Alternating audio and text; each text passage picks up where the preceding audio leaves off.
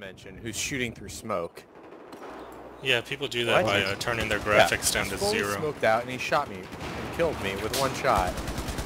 Like there was smoke all in front of you, and I saw his like sniper rifle through the smoke, Who was and he was still able to shoot me. Who was it?